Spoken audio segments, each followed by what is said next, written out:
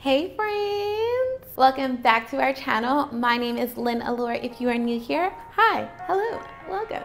On this channel, we talk a lot about self-improvement and personal development, making money, saving money, investing money, all that good stuff. So if you enjoy topics like that, definitely subscribe and join the party. So we're in a bit of a different setup right now. I just didn't feel like setting up the big old industrial camera. So hopefully this camera setting will suffice. It's going to have to because that's what we got to work with, okay? You do what you can with what you've got. Okay. Basically, many of us have multiple streams of revenue, multiple streams of income, and one of those income streams might be your full-time nine to five corporate job or nine to five job in general. On Sunday, I uploaded a video on tips to ace any single interview, and I said that today, Wednesday, I would upload a video with a survival guide Tips to succeed in your work environment, specifically if you have a corporate job. If you haven't already gone to check out that video, definitely go check it out. I love the conversations that we end up getting into in the comment section. So if you have any tips or tricks, definitely leave it down below in the comments. So we're gonna jump right into this video. So my number one tip to surviving your corporate job is to schedule self-care time. A lot of us go through grade school, we go through four years of college or however long you went through it. All this schooling, daydreaming about what your nine to five career is going to be. You think you're gonna get your bomb internship. You're gonna be Lauren Conrad from Laguna Beach. You know, life is gonna be sweet. And then you get your first nine to five job and you're like, what? This is it? Like the, this is what I signed up for. Now, some of you all landed your first role and it was your dream job and you are living, you are flourishing and that is amazing. I'm happy for you. But the reality is a lot of us didn't experience that. I know for me, I was so excited to land my first nine to five job. I landed it and I was like, well, no, wait, this is it? I do this day in and day out. I go home, I sleep, I come back and do it again tomorrow. Um, this is very anticlimactic.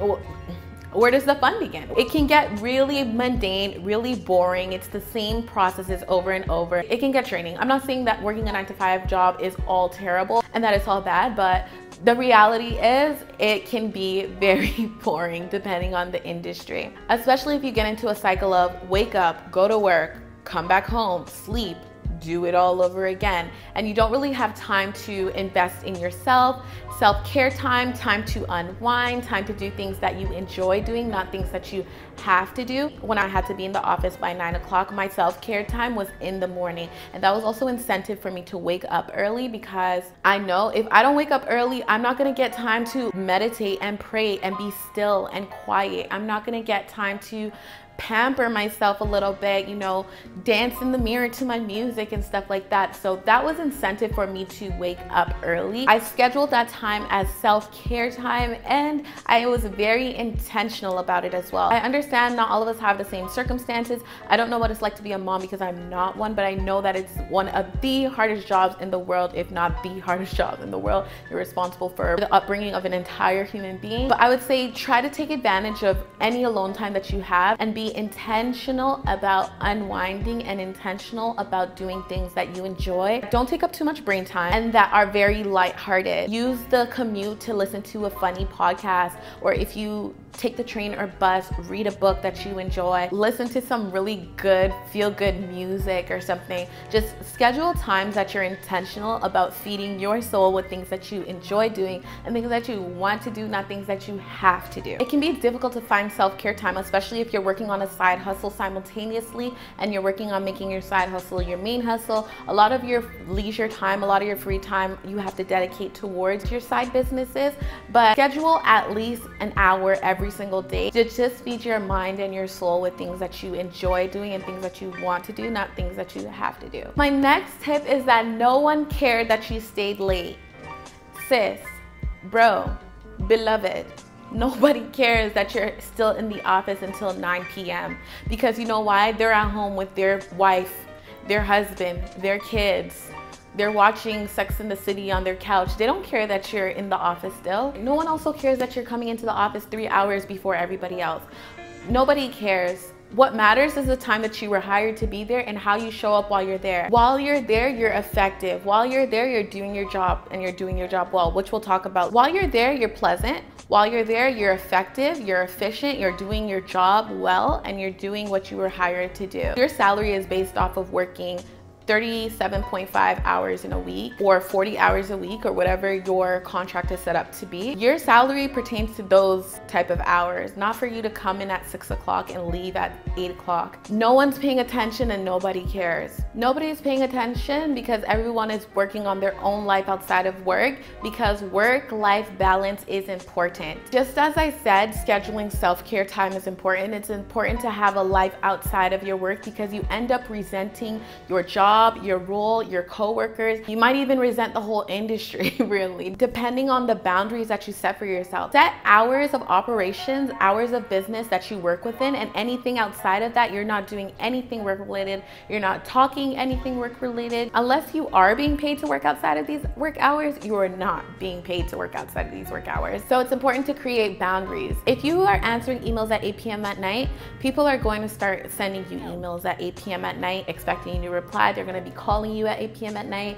And you can't be mad at anyone but yourself because you created these boundaries. And you teach people how to treat you. You teach people your boundaries by your actions. And if in the past you've been answering emails at 8 p.m., they're gonna just expect that of you. So you just need to kind of redefine your boundaries. You don't need to tell people, hi, hello, I'm no longer accepting emails late at night. Through your actions, progressively, people will start to realize, oh, okay, this is the time that Lyn answers her emails, so I can send it now, but she's not gonna answer it now. Since we're on the topic of boundaries, you need to be able to say no and learn how to say no effectively. It's not about what you say, it's more so about how you say it. There's a difference between you saying, uh, yeah, no, I'm not gonna do that. That's not my job. Or, sorry, I don't get paid to do that. Or, um, yeah, I can't do your job for you, and things like that. There are very passive aggressive or rude ways to deliver messages, and that's not what you want. You want to be able to effectively, politely, and respectfully tell people no. Instead of saying, yeah, no, sorry, I can't do your job for you. I have my own things to worry about. You can say something along the lines of, I would absolutely love to help you out with that. I'm just working on the financial reports for this Friday's P&L meeting. If I finish sooner than I expected to, then I'll definitely help you out with that. Simple as that. Saying, if I finish sooner than I expected to, I will help you out with that. So that just tells the person that there is no guarantee that I'm gonna get around to whatever you're asking me to do. Either do it yourself or find someone else to do it. Also made it clear that I'm working on my own tasks and my own deadlines. And once I complete that, then I can be assistance to you. I would love to know how you guys tell people that you work with or in workspaces, how you tell people no respectfully, effectively, and politely tell people to F off. The keywords are effectively, politely, and respectfully, okay? But yes, it's very important to be able to tell people no, especially as a junior level position. People are gonna constantly be throwing their responsibilities onto you, expecting you to just take it. Just remember that you can create boundaries by respectfully telling people no. You need to prioritize your tasks before anything else. Which brings me to my next point, which is pretty obvious and it goes without saying, but the next point is to do your job and do your job well. You were hired for a specific role. Because you get into the company and you realize that you're able to do other things doesn't mean that you just automatically start jumping onto other tasks and other projects within the company.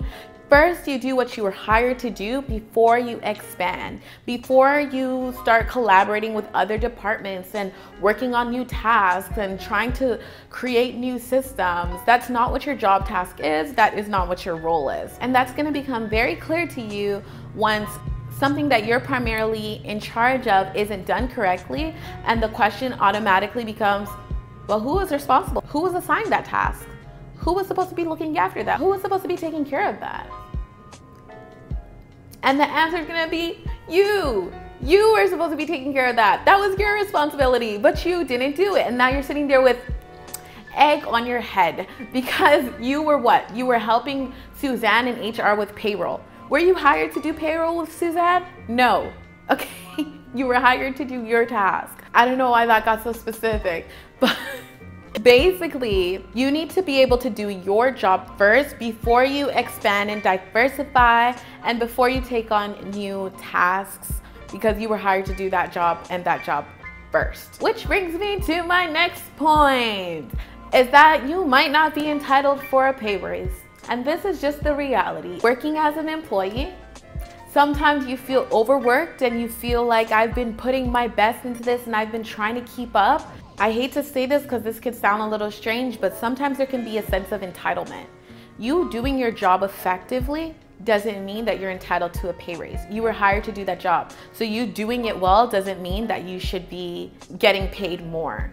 Of course, at the end of the year, when there's end of year bonuses and things like that, then if everyone's getting it, yeah, you're entitled to one as well, but you're not entitled to a higher pay grade if you've been doing the job that you were hired for and you were paid for that job role. If you're completing your job tasks or your responsibilities are taken care of and you've got that under control and then you start to take on more tasks, more responsibilities and more duties around the office or around your department, then that's different. That most definitely does warrant some sort of pay compensation or pay rate increase of some sorts, but you doing the job that you were hired to do, I hate to break it to you, but that's what you were hired to do. And that's where the importance of negotiating your salary up front comes into play because once you are in a job role and you do accept a certain salary, it's hard for you to expect percentage increase to be doing the same role that you've been doing for the past year. Like you can't be hired to do a job for $60,000 and then after you've been doing it for a year, you're like, damn, I definitely deserve $70,000 to do the exact same role. It's just most likely not gonna happen. So that brings me to my next point, which is communication is key in the office. We can go into so many different facets when it comes to communication in the office, but I'm going to talk about communicating meeting your wants and needs specifically. Your manager is not your boyfriend or your girlfriend, your significant other, whoever. Your manager is not responsible for knowing your feelings and knowing that, oh, there's been a certain change in your mood lately, what's going on? If there's something in the office workplace that you find to be extremely bothersome, I would definitely say communicate that. Once again, effectively and respectfully communicate that with your manager. Ask for one-on-one -on -one meetings, send things in email. But the key in any conversation that you do have is to think about the outcome, think about the end result, the end goal, what you're trying to achieve by having this conversation. Which brings me to my next point. Never bring up a problem if you don't have a solution to go with it. If everything's moving fine, if the system has been working the same way the system's been working for years, these are the operations that occur within the department. These are just the logistics by which every employee has adhered to in the past umpteen years prior to you working there.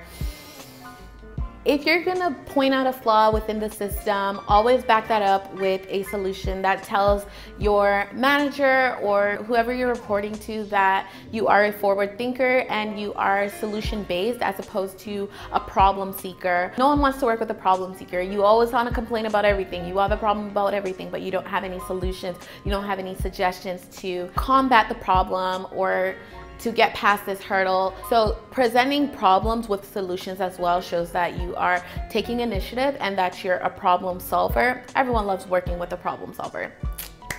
Okay, so the next thing that everyone loves to talk about because it's so much fun is workplace politics. There's always gonna be some sort of like clique culture in an office. He only got the job because he's the president's nephew and she only got the job because she's sleeping with the boss. all this other stuff. There's gonna be whispers, there's gossip, there are rumors, there are little cliques. Sometimes the office can mimic high school, that dreaded period of your life where everything was so gossipy and clicky and juvenile and immature. Unfortunately, a lot of those people grow up physically but not mentally. They're still very immature. They bring that ish to the workplace. It's okay, it's okay. We all deal with that, right? I would just say to remain neutral at all times. Remain neutral and have a good rapport with everyone across the board, but don't get too consumed or indulged in one type of clique within the company. That's how workplace drama starts and you do not want to be a part of workplace drama. How disgusting for you to have to spend a majority of your waking hours at a place where there is drama. We, we finished high school a long time ago, okay? Do not get caught up in it. Remain neutral and also, that's how you develop low work morale. It can also be contagious. If people that you're close to within the company do not like their job, then it becomes contagious and suddenly you're noticing things about the job that maybe before didn't used to bother you, but because your close friend in the company is always complaining about it, naturally as a human being, you're starting to notice and pick up on these things too. And now you're just like, oh my God, this is terrible. Like, I don't like my job. I don't like this company anymore. Low work morale is contagious. Always stay clear of the workplace drama. You know, you can listen with an open ear and wow, oh my God, are you serious? Do not ever chime in with your perspectives, your opinions nothing and try to cut the conversation as short as possible. People pick up on these things and notice that, okay, she's not with the negativity, she's not with the drama. Let me not even bring this talk to her. Which brings me to my next point, which is your workplace bestie. I think that having a friend at work definitely makes the workday go by quicker. It's a little bit of an incentive or something to look forward to in your workday to see your friend or a colleague that you really enjoy, but I use the term friend very loosely. I think it's important to become friendly with people in your workplace, but you don't necessarily want to be best friends with them because it causes you to start talking about work when you're not working, which is one of the points I said, like let's not discuss work when we're not working. You start to discuss work all the time, 24 seven without even realizing it. So there's no real cutoff between work life and personal life. And then also, just in case you end up not really liking this friend too much, now you have to constantly see them in the office and things can get weird. I would say become friendly with people at work, but do not become besties or best friends with them.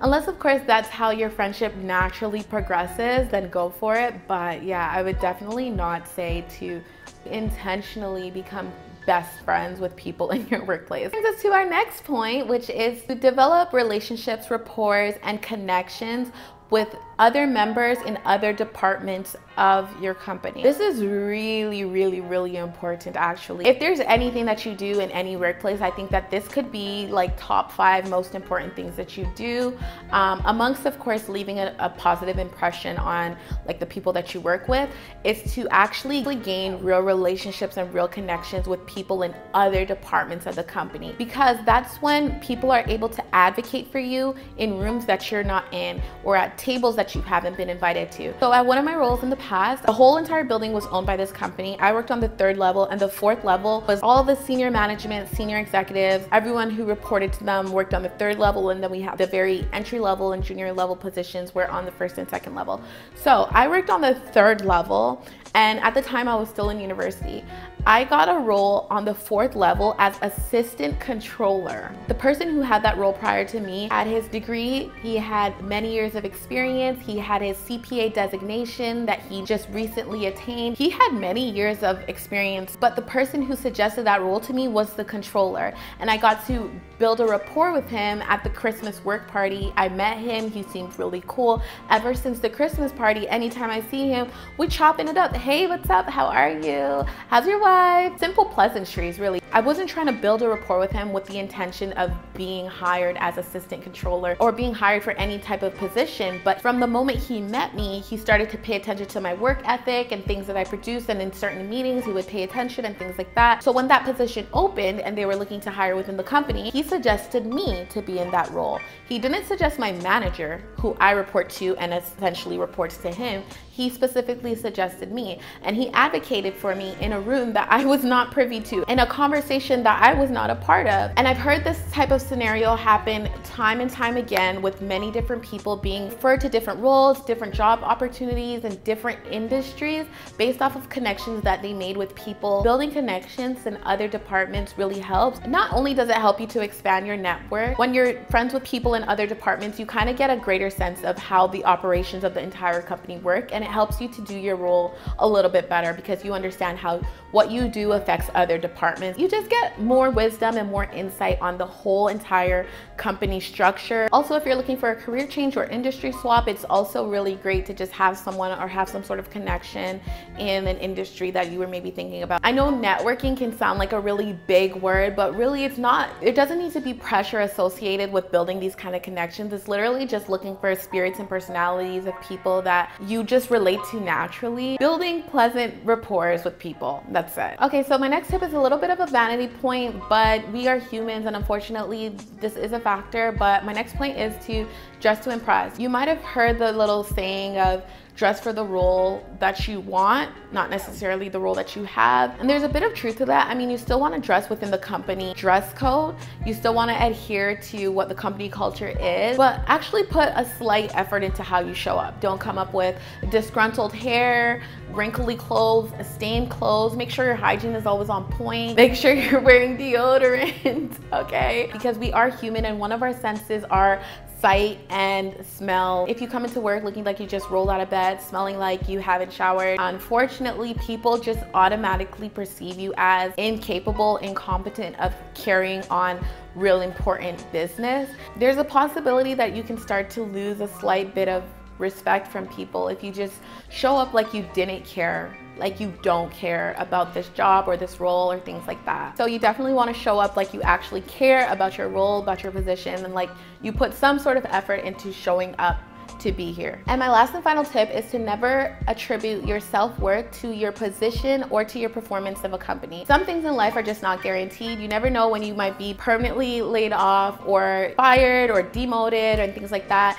And if you attribute your self-worth to your position in the company, your title in a company, or your performance within a company, the moment that things aren't going on the trajectory that you expect them to, automatically your self-worth decreases. And the reality of things is it's just a job. This is just one stage in your life and one component of your multi-layered life. Some things are just not gonna go the way you planned them to, but that doesn't mean that your life is over or that you're not worthy of stepping into the, the next best thing. So just remember, beyond everything outside of work, you're still an amazing human being. You still have a lot to offer this world. You still exude positivity and happiness and confidence, and you're still a very, very high value. So that is it for this video. Hopefully this helped at least one person. I would love to know you all's survival tips in the workplace down below. Can you relate to any of these topics? Do you have any other suggestions? Let's get the discussions going down below. I'll talk to you all in our next video. Love you all so much. Love you to the moon and back. Be true to you. Mwah.